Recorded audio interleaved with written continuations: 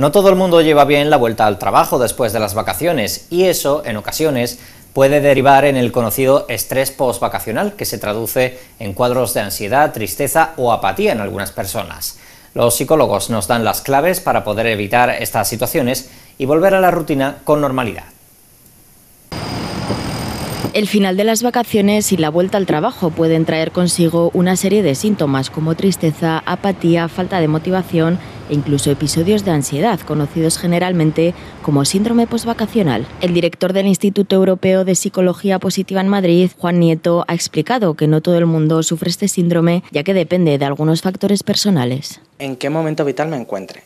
qué recursos personales tengo para afrontar los cambios, porque en definitiva es un cambio y hay que adaptarse a él. Y, por supuesto, todo lo que tiene que ver con el trabajo en sí.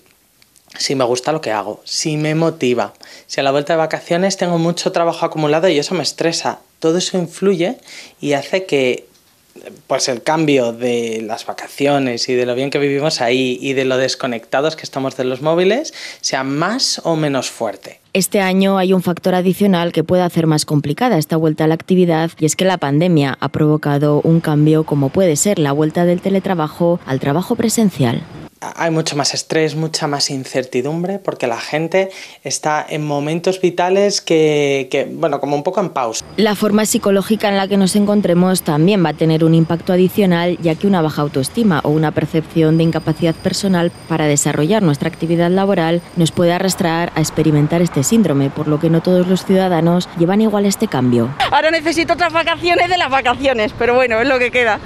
Bien, relajado. Muy contento me gusta la aventura, me gustan los cambios y, me gusta ser profe. Así, el experto aconseja adoptar una actitud optimista de cara a la vuelta a la actividad, incorporando aquellos hábitos de vida saludable que hemos adoptado durante el periodo de descanso.